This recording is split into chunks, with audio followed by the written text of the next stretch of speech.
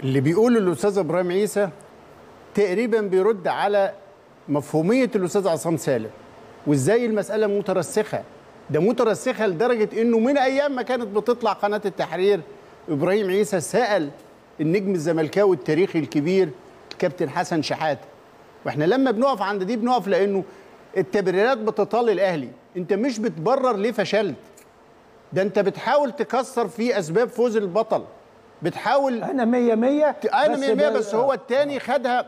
هو في حد يكتب على يافطة زي ما قال فؤاد حداد علق يافطة بعرض الريف. أقول مش بالمحسوبية وال والرشاوي ولا مش عارف المجاملات.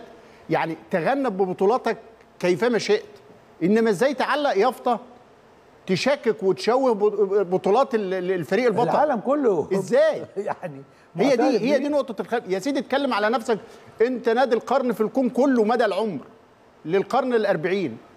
بس كمان الفريق ال- اللي خد جايزة وخد لقب من جهات رسمية مش من حقك إن أنت تشوه فيها وتعلق يافطة آه، تحدف طوب عليها. ده كلام اخلاقيا لا يصح ابدا.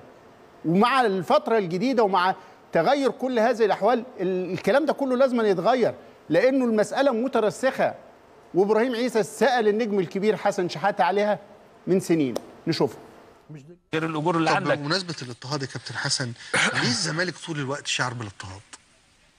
الزمالك كنادي، الزمالك كمدربين، الزمالك كلاعيبة هقول لحضرتك حاجة يا أستاذ إبراهيم آه. ممكن يكون من خلال المشاكل اللي بقالها خمس ست سنين في نادي الزمالك حاصلة سواء بس من يعني عقدة الاضطهاد عند الزملكاوية من خمس ست سنين بس يا كابتن ما أنا. هقول لك برضو ما هم لهم دور في الحتة دي يا آه. أستاذ إبراهيم وأنت راجل زملكاوي آه. لهم دور في إيه؟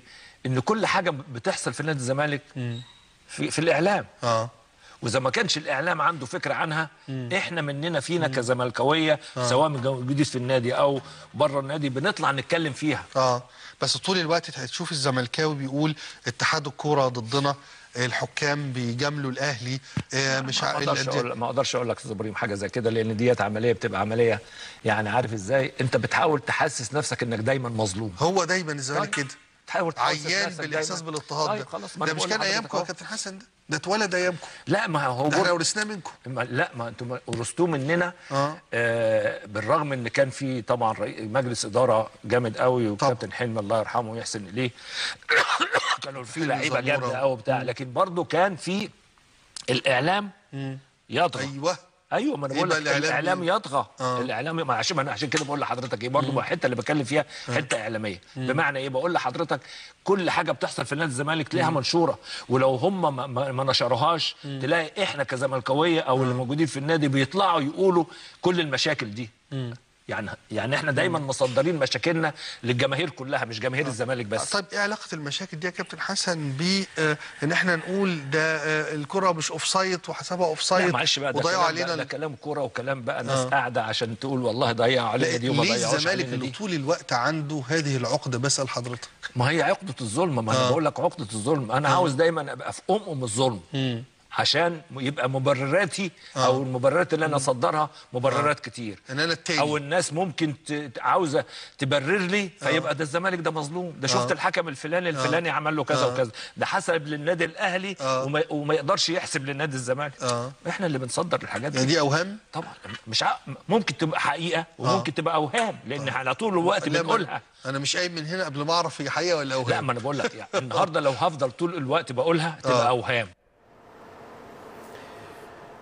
هذا الحوار كاشف إلى حد كبير من إمتى هذا الكلام بيتردد.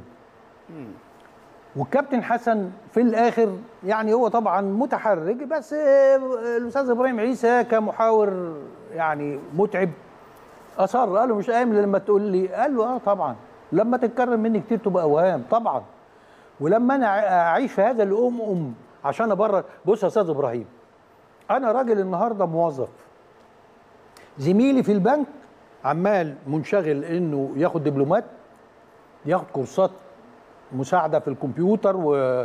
والحاجات اللي هي بتساعد في شغله يعمل ماجستير بيجهز للدكتوراه يترقى يعمل التارجت بتاعه نتيجة إنه مجهز نفسه كويس بيشتغل والتاني مش فاضي غير إنه يكتب مذكرات وتظلمات.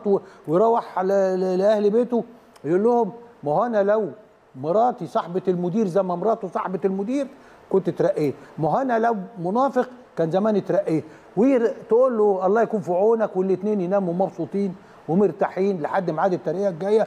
طبعا الثاني يشرخ لما آه، والتاني يفضل يكمل. يشتكي وده. يفضل عايش هذه المظلومية. أخطر شيء على الإنسان يا أستاذ إبراهيم إنك تحسس نفسك إنك ضعيف. الشكوى بتحسس صاحبها إنه مغلوله يده. زي ما الكابتن حسن قال لك عايز تعيش في هذا الامم عشان تبرر أي فشل. وده حقيقي. ده من الناحيه الإنسانية في أي حاجة. عايز أبرر مش أنا. أنا أنا كويس قوي بس الظروف اللي حواليا.